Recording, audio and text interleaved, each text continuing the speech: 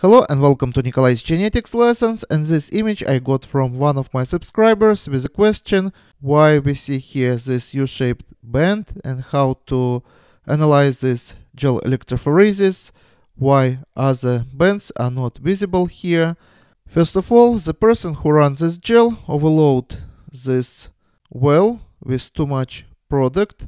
That's why we see that it's too bright because the ladder looks nice, I can rule out that there was too high voltage applied because usually we can see smiling faces like this when voltage is too high and applied for too long. But because this ladder looks nice, we can rule out. We also can rule out that uh, the comb was pulled out from the gel before it was set or that agarose gel was too soft, again because the ladder look Nice.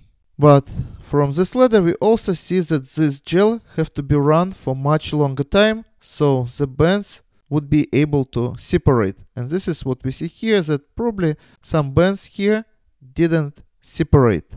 Another problem that I can see here that the image itself was overexposed and next time the person who runs this gel should load this PCR product and run for longer time.